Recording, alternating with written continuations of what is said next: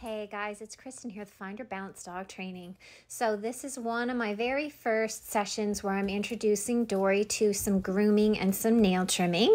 She's pretty wiggly, so we're always going to leave the leash on so that I can kind of keep her in the same area as me. Um, I can correct biting at the brush, biting at my hands, and any of the little crazy little puppy maneuvers that she does, like you see here.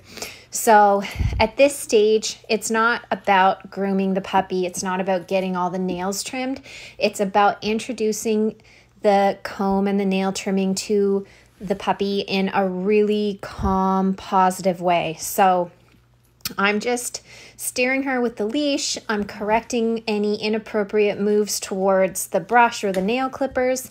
I'm not forcing anything. I'm not holding her. I'm not imposing anything on her. I'm just in a really um, comfortable way getting her used to this type of stuff. So, this is the stage where it is so easy to prevent poor manners when it comes to grooming by making sure that we're correcting the naughty stuff. So, any of the biting at the brush or any of the tantrumy stuff we want to correct and we also want to make sure that we're keeping these little sessions super short. So puppies do have a very short attention span and a very short tolerance for this type of thing.